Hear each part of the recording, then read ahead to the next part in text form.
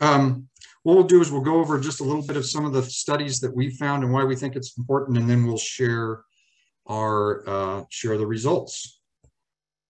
So um, let's see if I can get this going here. So we think there's really uh, three items that guide our study of commuting habits. Uh, one is workforce attraction. Uh, the other is economic growth. And the last is health and safety of our workforce and our community. So let's uh, break those down a bit. Um, in part, when we look at the future of our workforce, what we think we're really talking about is millennials, and in part the post-millennials.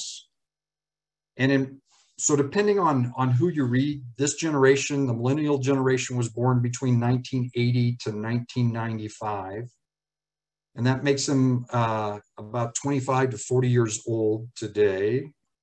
In this year, and what is exciting about this group is they're estimated to be about 75 million in the United States.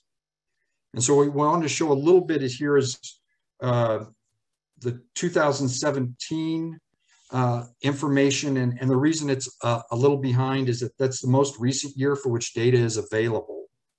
But what you see here is primarily in that orange category is that at that time in 2017, there were 56 millennials that were either working or looking for work. And that's more than the 53 million Gen Xers, who were about a, quarter, a third of the workforce. And it's well ahead of the 41 million baby boomers, who represent a quarter of the total. So, again, if we're looking at possibly enticing this population to live and work in Englewood, and there's a large chunk, we think we need to then ask what are they looking for in, in a community? And one of the things um, maybe you've continued to hear, but we continue to hear about this generation is that they are leaders in the change towards alternative modes of transportation. And that doesn't mean that they still don't use the automobile to travel back and forth. But I think as you can see from this 2020 US Department of Health and Human Services study is that each generation as we go along uses the automobile uh, less and less. And that even goes down to the post millennials, or what I believe they're calling them the Generation Z. You can see this trend continues. One thing I might point out on here, if you can see that, and hopefully this shows up well, is uh, that's interesting from these this study and the results that don't really match up with our survey is an increasing number of those that choose uh, carpool as an option. And we just don't see that. And when we share that study, we'll bring that up. But one of the reasons that we may be seeing, uh, again, still large numbers of people driving alone or in carpool, in part might just be the way that uh, our communities are built to favor the automobile. I'm sure you've heard that before. What was interesting to us is uh, during we while we were doing this survey, I received uh, the following email from somebody that wanted to share a little bit more. And when I explored more, I won't share any confidence of, of who this person was, but this person did fall within that millennial group. So if you uh, will indulge me just a bit. I just wanted to read their email. It said, Thanks for sending this. I feel like there are some nuances in my answers that couldn't be conveyed in this survey. I rate driving as valuable only because there are essentially no other options in Englewood, is his opinion. I do commute to work by bike 75% of the time, but given the current infrastructure, lack of safety measures, and car dominance in Englewood, I just don't see many people taking the risk or putting forth the effort to ride a bike for transportation. I think buses are fantastic, but our bus system is essentially useless. Again, his opinion. I can get where I'm going on my bike in a third of the time it would take me on a bus. So he summers up, he concludes as saying this. So in short, I'd love to see alternative transportation methods at Englewood's as Englewood's top priority, but people will only start using these options as they are convenient and easy. Part of the equation is making it harder to drive and harder to park. And why I share that wanted to share that email is I thought as we were reading some of the research and understanding what this, I thought it it did illustrate the attitudes of this group of a population of, upcoming workforce that are looking for more alternatives in their city when where they, they live and work. And so it's not surprising, I guess, when we look at this 2014 Global Strategy Group survey funded by the Rockefeller Foundation, that what millennials value at the very top when they are looking at a community to live and work is the ability to be less reliant on an automobile. And part of that decision is also cost. The cost of owning a car is less appealing to them than things they value. And so this, this global strategy group study asked some additional questions with the following results. A majority of millennials, 70% who currently do not have regular access to a vehicle, say they could not live in the current area where they were living without access to public transportation. And 86% of the millennials say that it is important that their city offer a low-cost public transportation system with affordable fares. Uh, this is especially true in this study with millennials who earn less than $30,000 a year. And almost two thirds of the millennials, 64%, say that the expense of owning a car is a major reason they want to be less reliant on one. So again, as we look at this and we say, if we are looking to attract millennials to our city and, and they are a growing part of our workforce, we may, may need to begin to advocate for alternative modes. But I guess the next question for us is what happens when we do this?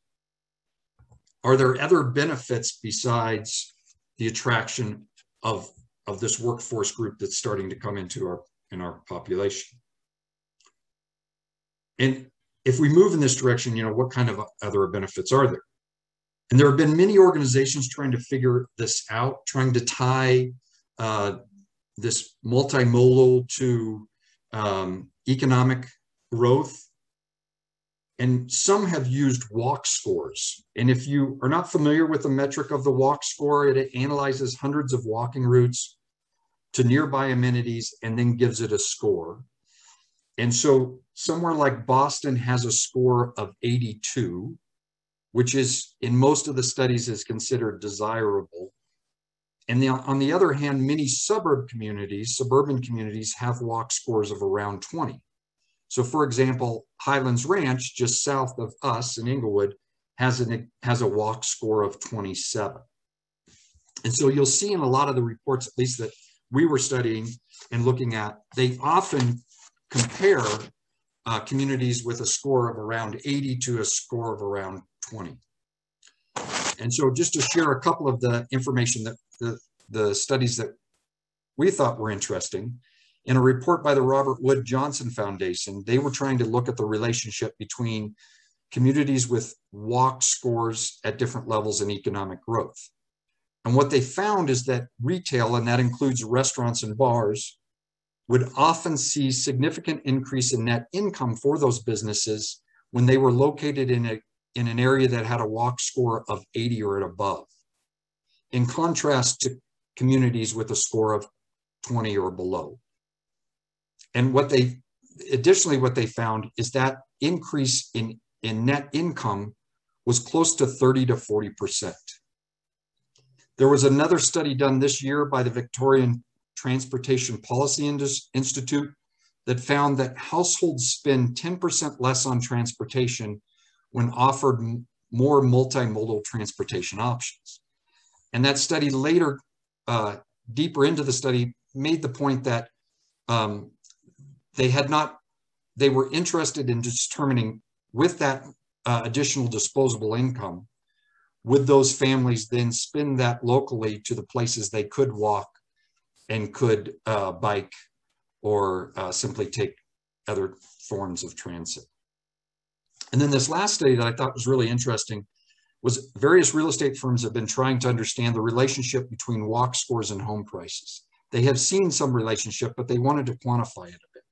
And what they seem to all agree on is that an increase in walkability means an increase in housing prices.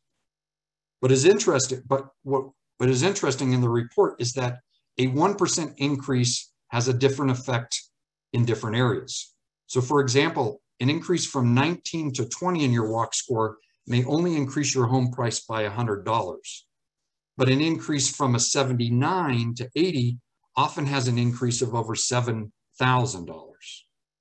And so there seems to be some economic benefit to having a more walkable community. And the next question you may ask is where is Englewood in all of this? And so going to the Walk Score website, which you can do, Englewood is considered somewhat walkable. We're around a 62.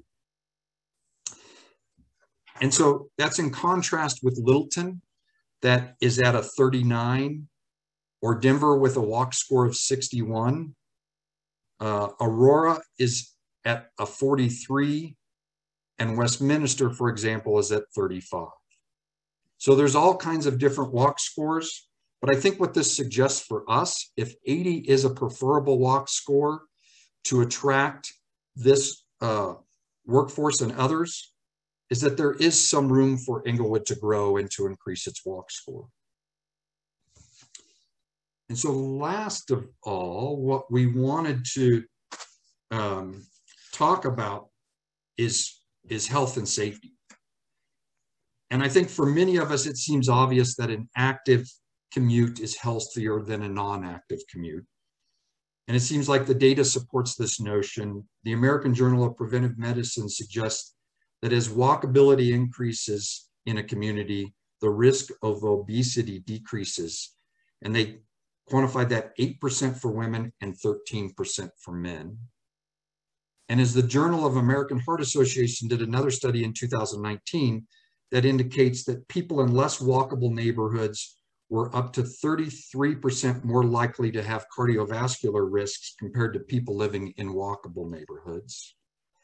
And then I think we've all heard many times that there are also environmental factors to using our car, cars less, that walking, cycling, and transit options can help reduce carbon dioxide, nitrogen dioxide, and particulate matter. We're, we're all probably familiar with the Denver brown cloud and what we all try to do to read the steps we take to reduce those elements within our own airstream as well as walking, cycling, and other options can reduce noise pollution and wear and tear on our roads. But there's one uh, thing that I wanted to share that uh, one of the concerns that was suggested by that person that emailed us back when we were doing this study, as well as, um, and it really has to do with the safety of cycling. And the U.S. Department of Transportation has also started to, to look at these, uh, to look at fatality rates as it relates to cycling to better understand the safety of cycling in our, in our communities. As cycling and walking begin to rise, um, they were interested in understanding how, understanding how safe that is as a transportation option. And so I wanted to share some of this data collected by the DOT. Um, they collect data for communities that are uh, 600,000 and up. So Englewood did not fall into that area, but Denver did. So I thought that was an interesting data point. And in this chart, what I think is surprising and what we can look at is, is that a larger population does not always equate to greater fight fatalities. That if we look at Austin, for example, I mean, Austin around nine, 900,000 has uh, fatality of one per 100,000 of the population. And somewhere, example like Denver, has close to uh, eight, eight fatalities of pedicyclists for per 100 uh, for the population, 100,000 population. And so some have suggested, uh, I think Lindsay even mentioned when she saw this chart, well, that's really interesting. Why is someone like Austin only at one and someone like Albuquerque down at, whoops, down at 12? And some have suggested that this is the result more of protected bike lanes, bike traffic lights, and education for both the biking community and those that drive. There is some, uh, there might be some degree of weather related uh, accidents as well, but I think we are probably within this list the snowiest community in Denver than uh, any of the other communities. And so what I guess this indicates to us is if as a community and as as businesses in that community, we begin to advocate for these types of multimodal transportation modes, that we still need to consider safer biking lanes, biking safety education, as more people begin to use these forms of commuting. And so that's really the end of, of the presentation on just kind of why we think this is important. So what it seems to us is that studying how our workforce uh, commutes provides an opportunity for additional workforce attraction to our community, economic growth, and the health and safety of our community. Is that, is everybody able to see that? I think so. We can see it. Great. And so this is kind of what, what we found. And again, um, our intention was to try to create a baseline by which we could compare future studies with the intent of, of doing a, a similar study, a commuter survey st study uh, each year and see uh, where we're, we're growing or declining in various areas of commutes, commuting habits, and benefits. And so um, we had 87 people, 87 participants fill this out.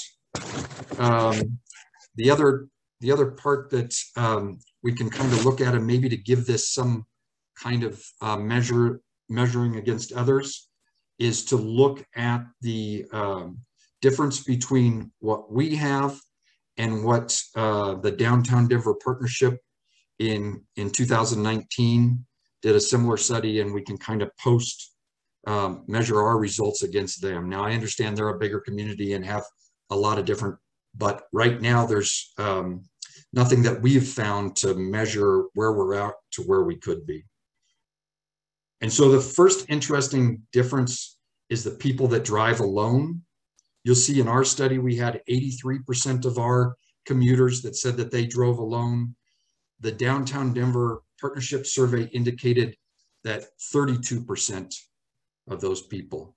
We also recognize that um, doing this survey in, you know, 2022, 2021 probably has some pandemic effect as well. But uh, still, these might be some interesting uh, numbers to look at. Englewood's bike to work is at 1.19%, where Denver survey indicates that 9% uh, of their workforce bikes to work. And our walk is a, at three and a half. And Denver indicates that there's uh, their commuters walk, 5% uh, of their commuters walk to work. Where I think there's a really big difference in the transit is the transit numbers. Um, our transit number survey suggests that again, one, uh, one, 1.19% uh, use transit, where in the Denver survey, um, the 43% of the people uh, commute in or commute out of Denver for their work environment. The other thing that we, we indicated that you'll see here too uh, is the commuting habits. Um, people living in Englewood but working in other cities, their average commute is around 7.6 miles. Uh, people living in Englewood and working in Englewood, their average commute is uh, 3.2. And the average one-way commute distance for employees working in Englewood but living outside of the city um, of commuting into Englewood is, is uh, 10 miles. And what I think is interesting is when we, we asked uh, of the people that drive alone, what would your, you know, next alternative be to if you weren't driving alone? 49% would choose transit, 35% would choose walking, and 32% would choose biking. And then as the as we look at uh, the employee benefits and what employees would value, and this might be an opportunity for our businesses to work with their employee base on on some of these benefits. To as a community, if we feel that this is important, to uh, move in those directions that were indicated earlier in the earlier presentation, is that I guess one thing that isn't so surprising, if we have 83% of people driving alone, uh, one of the most valued uh, benefits for them would be a parking space at 65%. But what I did find interesting was the secure biking. I mean, with only 1% of our, our community biking to work, 49% said some secure uh, bike parking would be important to them. Uh, also, uh, a flexible transportation allowance was around 40%. And um, the other benefit that I think was unique, again, a reserved carpool parking at 16% when really only 2% of the folks in our uh, survey were carpooling. And so that's really what we wanted to share with all of you with the idea that we would be um, doing a survey like this again in in another year to see how those how these numbers uh, either move up or move down. And so I would open it up to any questions that anybody had.